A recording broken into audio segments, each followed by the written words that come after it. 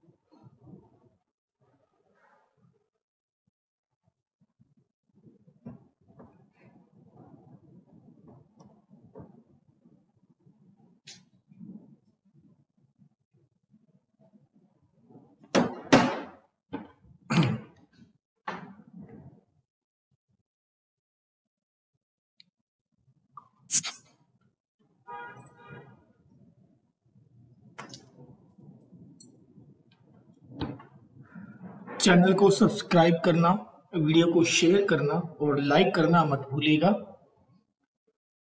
और इस बात से निराश नहीं होना है कि पेपर जो है थोड़ा डिले हो गया या जल्दी हो गया आप अपनी मेहनत जारी रखेंगे ठीक है जी सो so, आंसर की आपको टेलीग्राम ग्रुप में within twenty four hours मिल जाएगी till then thank you so much